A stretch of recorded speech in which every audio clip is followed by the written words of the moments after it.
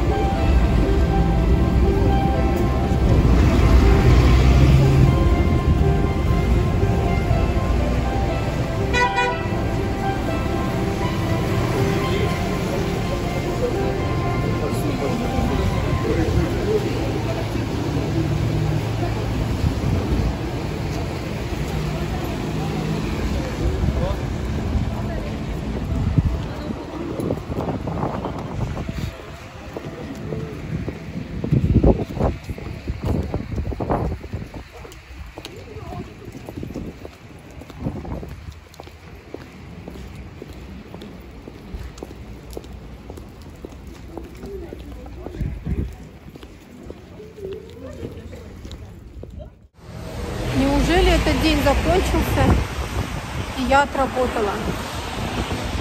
Тяжелый день сегодня. Во-первых, я очень хочу спать. Во-вторых, я утром, пока провожала Софью, так перемерзла, что я не могу согреться весь день. Просто весь день меня колотит. Хотя на работе ну, достаточно тепло. В-третьих, у меня очень раскалывается голова. Сегодняшний день, весь день на нервах. Проводили мы сегодня деток в 6 утра. Но по метеоусловиям Норильска рейс был отложен. Сегодня был туман. В аэропорту Лыкель был туман. И наши дети улетели только на посадку, вернее, пошли только в 2 часа. Вот представьте, сколько времени детки сидели, мучились в аэропорту. До двух часов сидели голодные. Хорошо, что я Софье положила с собой водичку и ну, там покупные рулетики. То есть перекусить было что. Но почему дети были голодные. Вообще их кормили в 12 часов. Было организовано питание.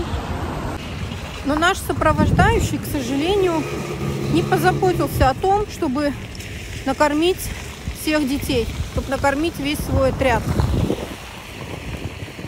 Поэтому я сегодня весь день на нервах. В общем, меня взбесил сегодня наш сопровождающий. Я вообще не понимаю, зачем таких людей ставить э, на работу, на организационную работу, у которого организационных способностей каких-то просто ноль. знаете, ни рыба, ни мясо. Это уже началось с самого утра. Нам дали 6 автобусов. Все сопровождающие быстренько распределили своих своих детей по автобусам. Но нашему сопровождающему автобуса не досталось. Вернее, не сопровождающему, а нашему отряду.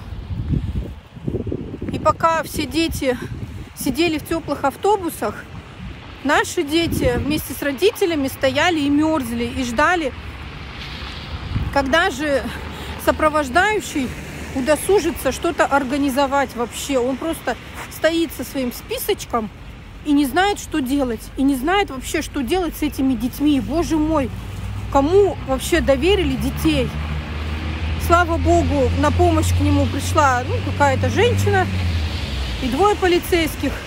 И быстренько-быстренько распределили детей по, а, ну, по всем автобусам, где, где были места. В общем, детей усадили. Ну, а дальше приключения на этом не закончились. Дальше все продолжалось в аэропорту.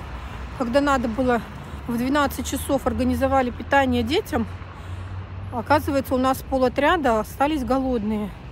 И когда я у Софьи спросила, почему вы, ну, почему вы не кушали, на что она сказала, ты знаешь, мама, мы даже не слышали, когда он нас звал. То есть он, наверное, я не знаю, шепотом себе под нос прошептал. То есть, ну, кто поел, тот поел. Те молодцы. Кто не поел, ну, извините. Ну, разве так можно? Вот такой вот у нас сопровождающий. Поэтому сложный, тяжелый день и для детей, и для нас, для родителей. Голова кругом, уставшая. Хочется уже прийти домой и положить голову на подушку. Так что дети наши еще в полете. Прилетят они по нашему времени 8 часов вечера. Скорее бы уже долетели, чтобы со спокойной душой можно было лечь спать. Вот такие вот у нас дела. Летний период, начало лета, июнь месяц, это частая проблема вылететь из Норильска, так как в Норильске туман. Ну все, дорогие мои, я подошла к дому. Несу два пакета с продуктами. Устала рука. Буду заходить. Всем пока-пока.